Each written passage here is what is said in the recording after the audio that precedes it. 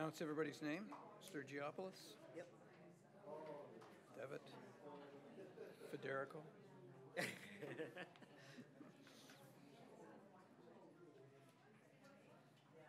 Uh, media and presenters, you guys ready for five minutes? Five minutes, yeah, okay.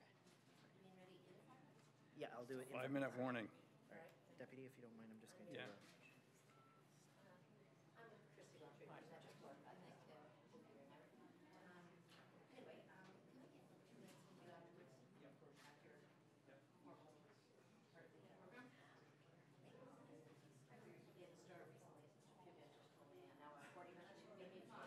Okay, this conference is going to begin in exactly five minutes.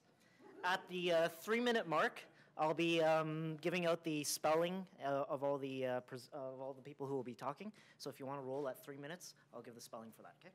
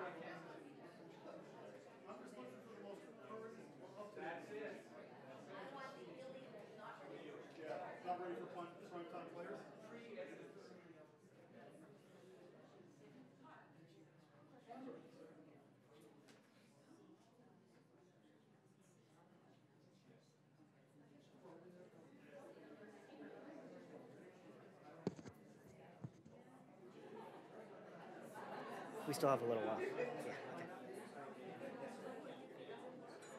Oh, of course, yeah, yeah, for sure, for sure.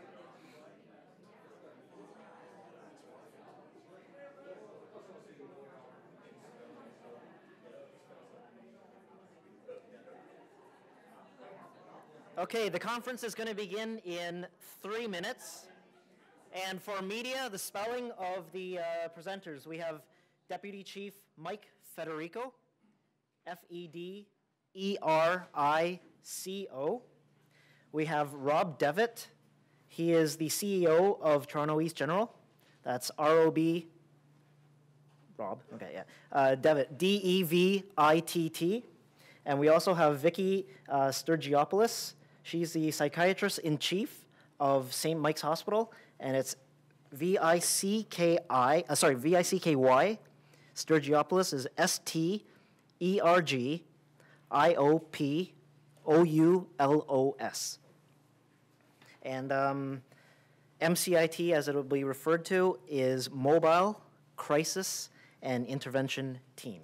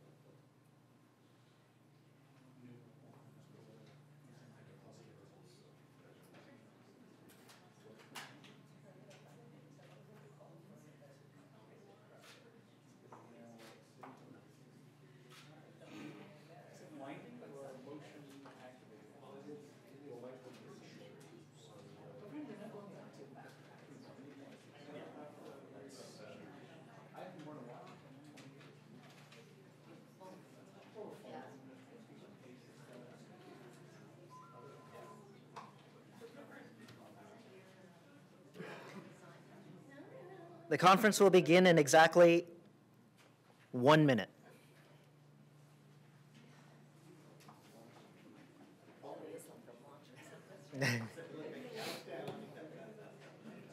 sure, thanks.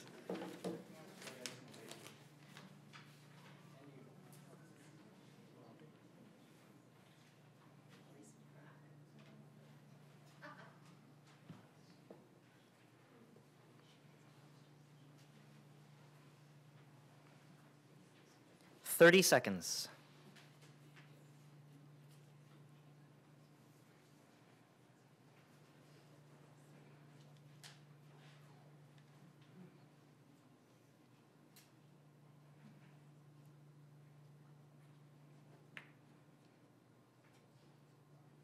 Ten.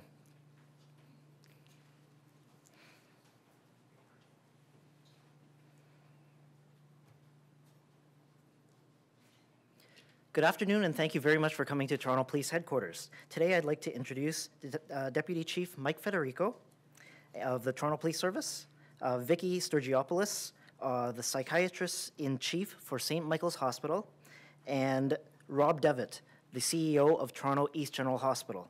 They will be here to announce the expansion in the city's mobile crisis intervention team program. Deputy? Thank you, Victor. Thanks, everybody, for coming. Since 2000, the Toronto Police Service has been partnered with our health sector partners in the deployment of a innovative partnership between Toronto Police and the hospitals that serve our emotionally disturbed or mentally ill community.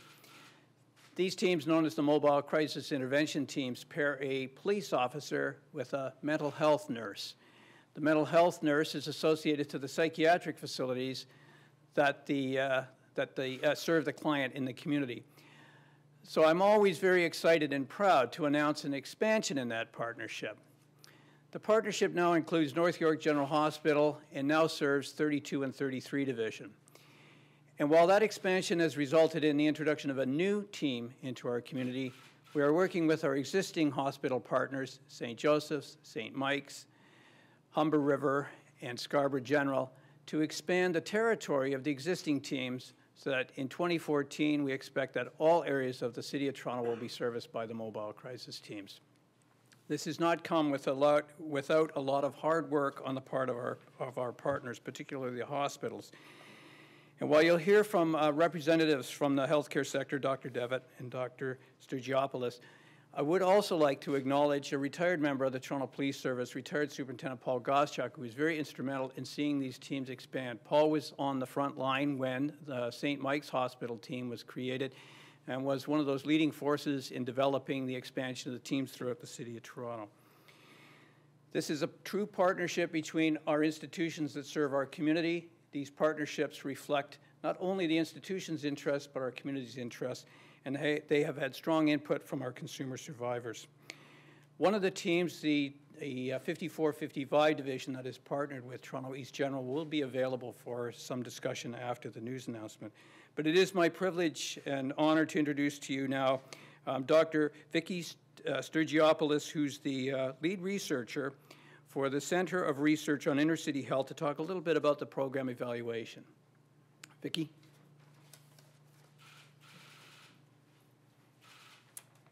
Thank you.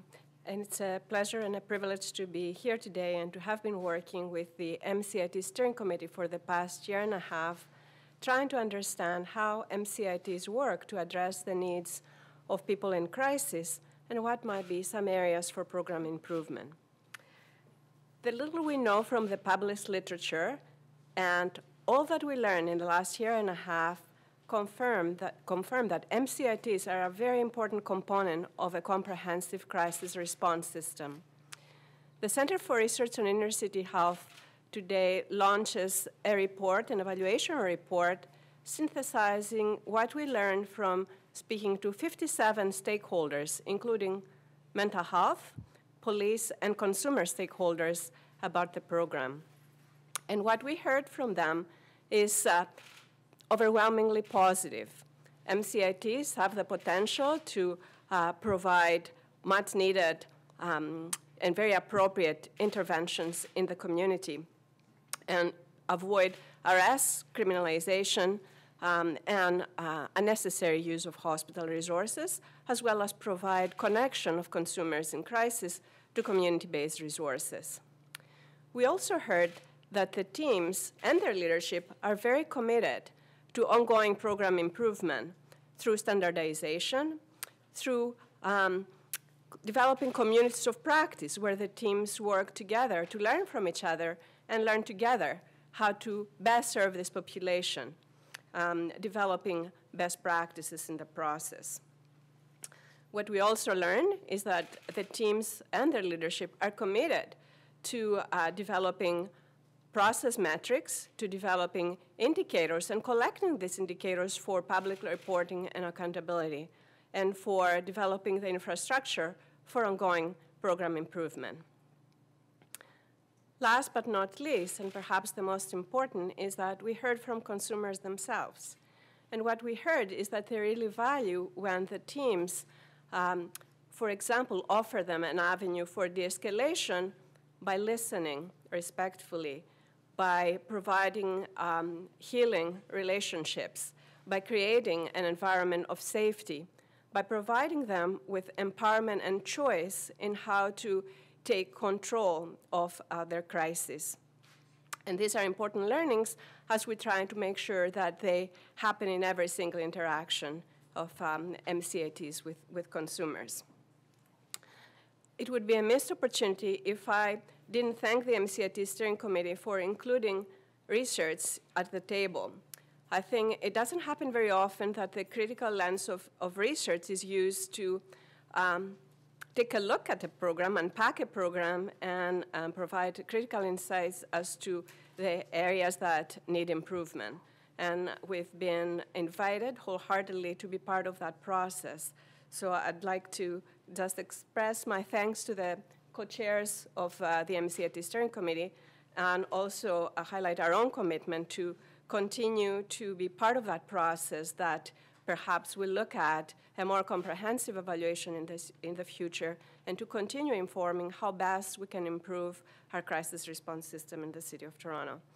Once again, thank you very much, and I'll invite Dr. Uh, Rob Devitt, President and CEO of Toronto East General Hospital. Great, thank you, uh, thank you, Vicki, and thank you everyone uh, for coming today. I want to uh, acknowledge the, the two folks who have uh, spoken before me, uh, Deputy Chief Federico and, uh, and Vicki.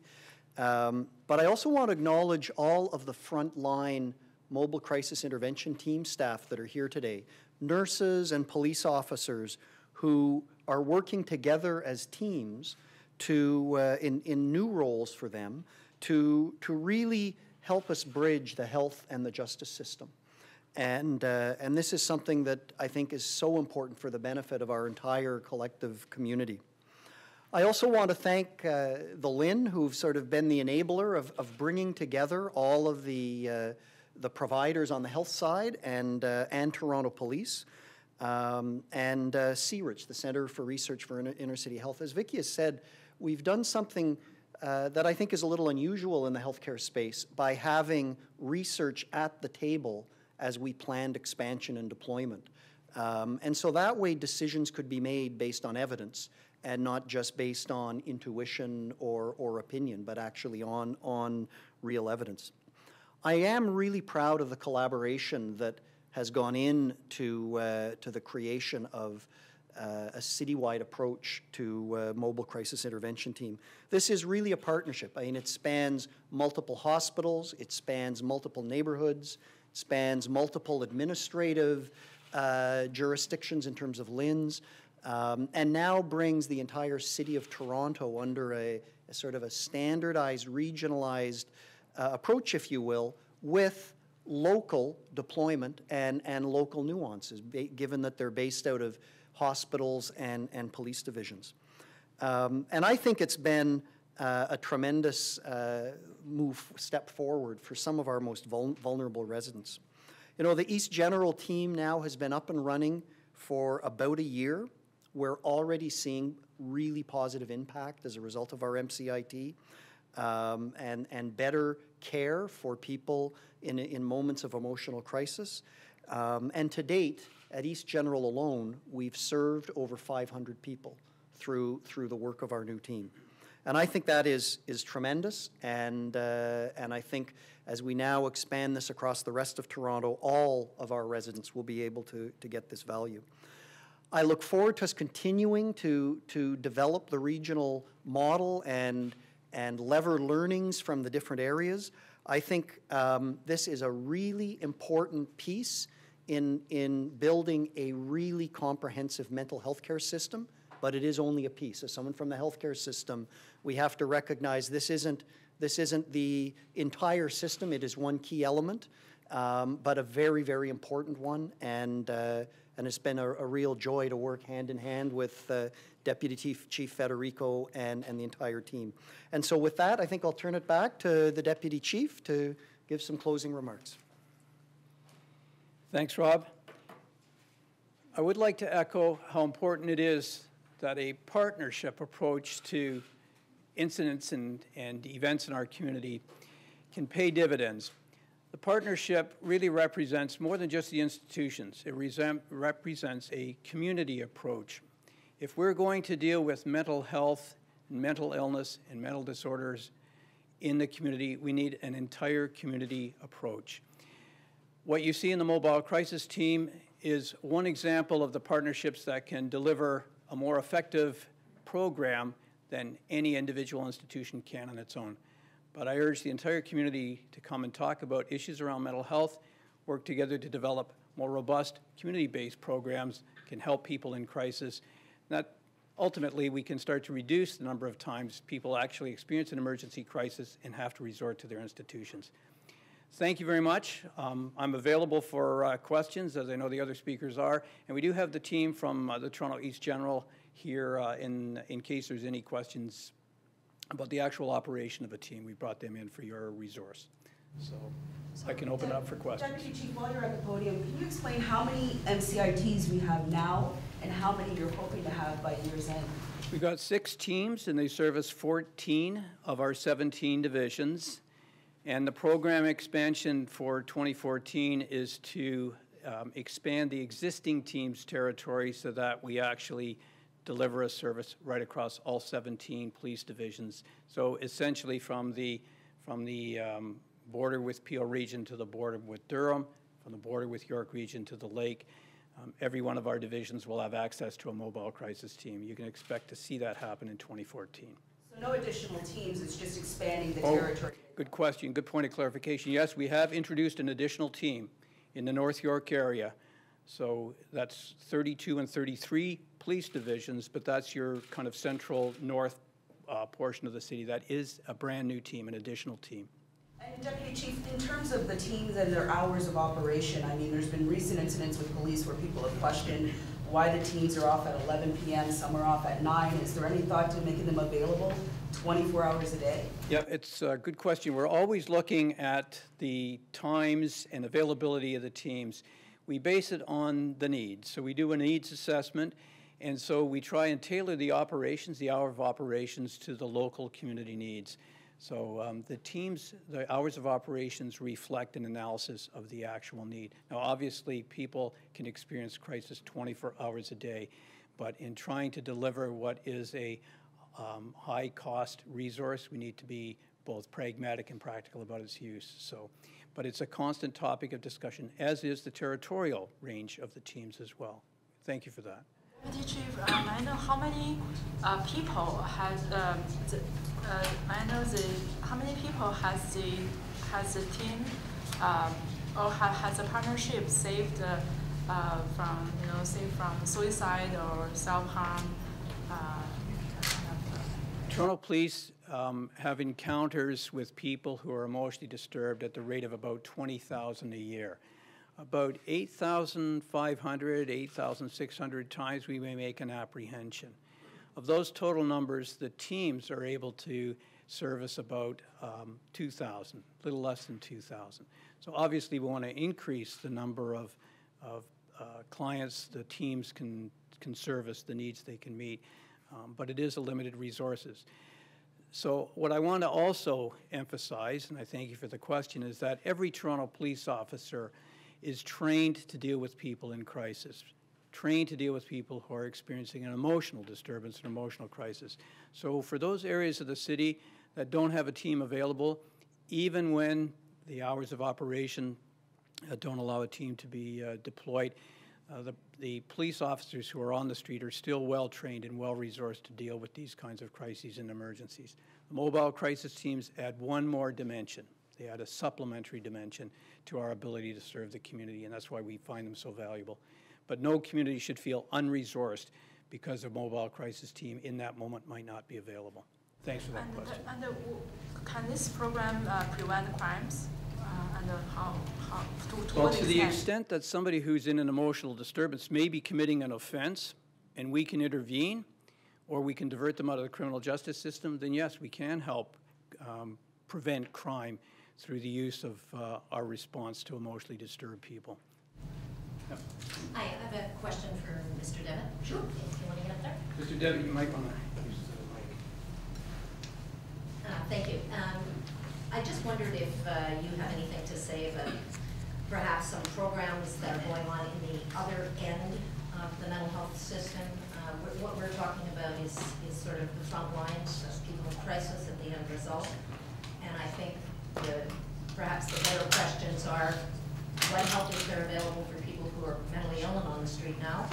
What are you doing? What are your new innovative programs? What we saw at the mental, uh, mental illness inquest, where they looked at three cases, was that every single one of the people who were uh, in an encounter with the police, a fatal encounter with the police, that all had, uh, had all gone to hospital looking for help. Got none. Here we are. So sure, I'd be, I'd be happy to, to give you an idea of some of the stuff we're doing, because I would say mental health, like any other type of health, the more we can do to prevent a problem arising, the better. Um, With mental health in particular, one of the things we're doing at East General, and I know a number of other uh, hospitals in Ontario are focusing on, we have a new thing called Health Links, which brings together primary care, so family doctors, and hospitals and community agencies. And, and they were designed to look at high-need groups who were either continually using, let's say, the emergency part of the system, um, because they weren't able to get the kind of care they needed in their community uh, to stay well in the community. And one of the key focuses, or foci, I guess, of these health links is the area of mental health. So we're actually looking at building capacity in primary care with our family health team to, to uh, better support uh, people with chronic mental health conditions or, or even acute mental health conditions, better support them in the community.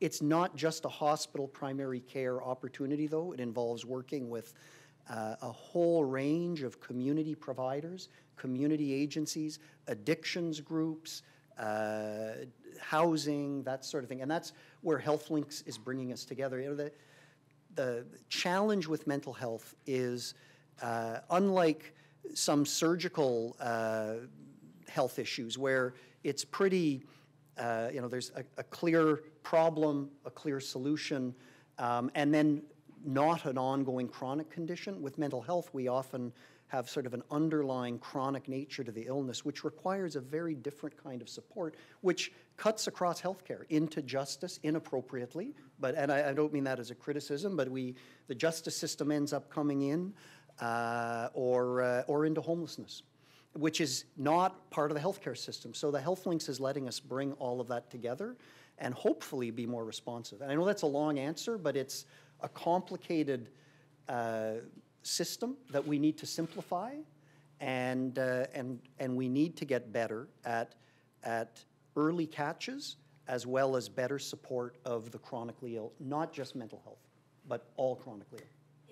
Complicated system. Just as a follow-up, would you agree that much of the emphasis has been on the ass end of the system, as it were, the, the, the front lines part where the police come in? And much more of the emphasis ought to be on catching the, making the early Oh, I. I think we, we are, we need to uh, continue to, to refocus how we look at, at all illness, mental illness and health illness in particular. I, I think we all know it, it wasn't long ago when it was a subject that we didn't even talk about. Um, and when we did talk about it, it was about the institutional piece. And absolutely, we need to uh, be much more aware as a community on the need for good community support. Um, and, and that is not just healthcare support. I've got to keep stressing that. That is housing, that is access to good nutrition, all of those things, so that people with chronic illnesses can, can uh, be as engaged in society as possible. And we do focus in healthcare, unfortunately, on, on the crisis. Uh, and that would be true whether we're talking cardiac illness or mental illness. And we need to keep focusing on prevention. Chief.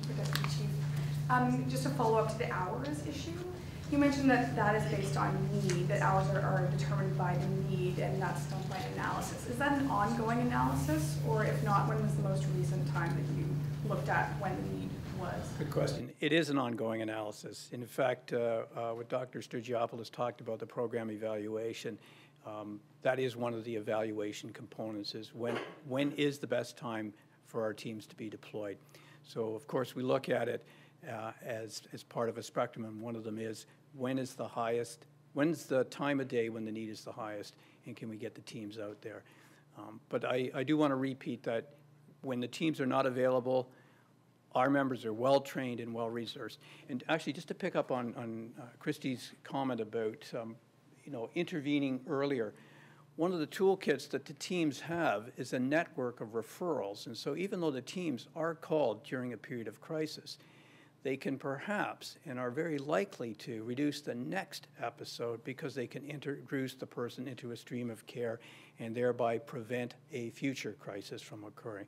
So the teams are a preventative um, element as well, although, as I said, mental health requires a total community response, housing, um, dialogue around destigmatizing the disease, social supports for family, earlier access to medical supports, decent jobs. These are all part of a larger community effort that's going to help reduce the incidence of mental health issues in our community.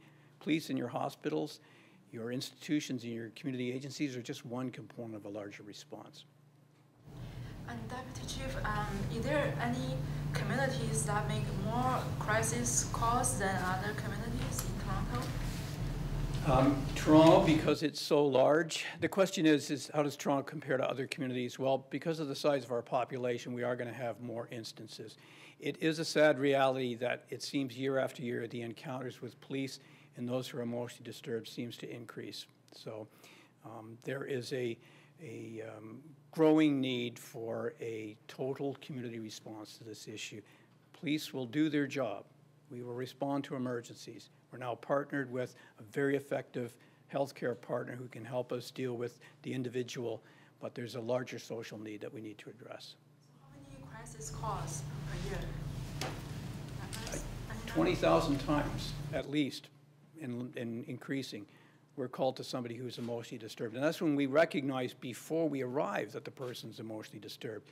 We get countless calls, thefts, mischief, assaults, even um, situations that you kind of recognize where violence has occurred because we arrive only to discover that the person's experiencing some kind of mental disorder, emotional disturbance. So they can get added to the mix. So this is a, this is a, um, a world issue. It's not just in Toronto, but Toronto has a large population, and therefore you can expect a concentration. We're an urban center, lots of challenges in our community coping with life, and so it's not surprising that uh, Toronto Police would be on the forefront of responding to people who are emotionally disturbed, and this is why this partnership is so valuable.